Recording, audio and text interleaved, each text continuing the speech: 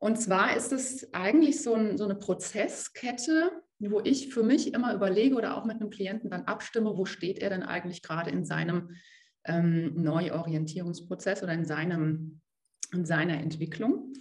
Das eine ist die Suche nach der Profession. Das ist aus meiner Sicht aber immer so ein bisschen so ein Standalone-Thema, also wo man wirklich so den inneren Navigationsprozess anwirft.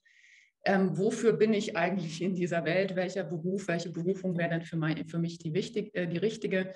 Das ist sowohl zu Beginn ähm, eines, eines Berufslebens der Fall, aber auch immer wieder zwischendrin, wenn man das Gefühl hat, hat so ein, ein Job ist irgendwie durch ähm, und, und so die, die Kraft oder so, eine, so der Push nach vorne fehlt, in den nächsten Job zu gehen. Da ist es auch immer wieder ein, ein Punkt zu sagen, magst du nicht mal schauen, was, was, wo willst, wo, was ist es denn eigentlich? Und vielleicht so einen grundsätzlichen Suchprozess zu starten. Das hat aber dann ähm, den Effekt, dass es andere Methoden braucht, nicht so konkret ist und seelisch tiefer geht. Deshalb habe ich den jetzt mal in dieser Auflistung so ein bisschen separat gestellt. Das andere ist eigentlich eine ganz gute Prozesskette, nämlich erstmal zu entscheiden, ähm, ja, bleibe ich oder gehe ich? Das wäre mal so das Typische. Also ich stehe in einem Job, ich stehe in einer, ähm, in einer Position und dann ist ein Entscheidungsprozess. Ich merke, es stimmt irgendwas nicht mehr. Bleibe ich in den Job und verändere etwas oder gehe ich und suche mir was Neues? Ähm, wenn ich mich entschieden habe, mir etwas Neues zu suchen, dann ist äh, das nächste Thema häufig das Thema ein Abschied, ein Verarbeiten des Alten, vielleicht auch ein Verarbeiten dessen, was da so alles passiert ist. Manche Leute hängen da noch sehr dran, weil es teilweise auch was mit Konflikten, Kränkungen, Abwertungen zu tun hat. Ähm, manchmal sogar auch, äh, äh, es fehlt, ein Dank ausgesprochen zu haben, hatte ich auch schon. Aber da geht es erstmal darum, wirklich auch diesen, diesen Abschied, äh, dieses Loslösen wirklich auch zu gestalten. Und man merkt das immer, wenn Menschen sagen, ja, ich will aber schon ins Neue und da kein, kein, kein, keine Kraft, keine Energie sich, sich aufbaut, dann kann es sein, dass in diesem Verabschieden des Alten noch etwas nicht verarbeitet ist. Und dann wäre es sinnvoll, da nochmal hinzuschauen. Dann gibt es so diesen, diesen Prozess der, der Orientierungsphase und des Übergangs.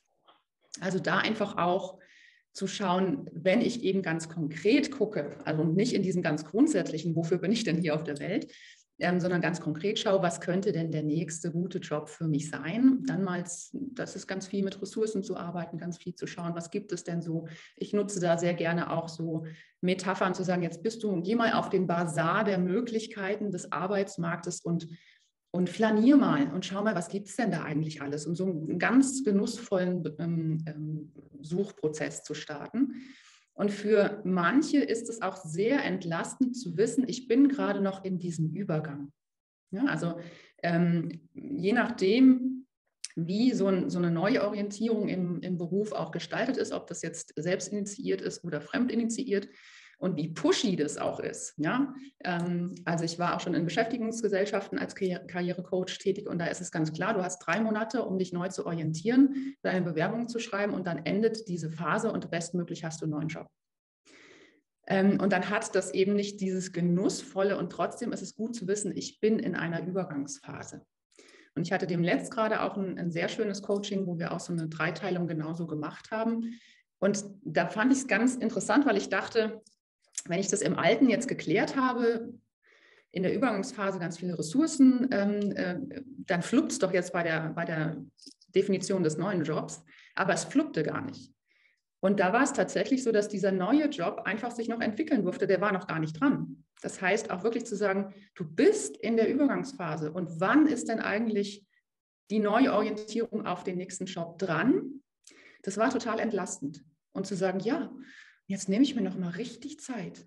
Und es war auch so eher gegen Ende des Berufslebens zu sagen, das ist jetzt vielleicht der letzte Jobwechsel, den ich gestalte. Jetzt soll es aber doch auch noch mal schön sein. Warum soll ich mich denn jetzt noch mal stressen? Ja? Also das wirklich auch als Übergangsphase zu, zu nutzen und es vielleicht einfach auch an der Stelle ähm, so zu gestalten, dass es lustvoll ist. Und dann eben, da macht man dann meistens wieder den Sack zu, Definition des neuen Jobs, der neuen Berufung, der, vielleicht auch der Selbstständigkeit. Ähm, Also da sehr konkret auch zu schauen. Ich mache das häufig ähm, mit bestimmten Methoden, die auch relativ hemdsärmlich sind, zu sagen, was sind denn eigentlich so die Leitplanken, ähm, die Rahmenbedingungen, die es dringend braucht, die dir wichtig sind und was sind so die Themen, wenn du dir es aussuchen könntest, wenn du dir den Traumjob backen könntest, ähm, was würdest du denn am liebsten den lieben langen Tag machen und wie würde das denn heißen? Das ist zum Beispiel eine Vorgehensweise, die ich gerne nutze. Aber dann ist es halt schon auch sehr konkret mit auch eigentlich einer Suchdefinition, diesen, diesen großen Arbeitsmarkt, sich da ein Fenster rauszuschneiden, zu schauen und genau nach diesem Fokus suche ich jetzt auf den großen Arbeitsmarkt. Also das habe ich sozusagen so in meinem, in meiner Vorgehensweise immer im Kopf und schaue dann mit einem Klienten, wo steht er denn eigentlich?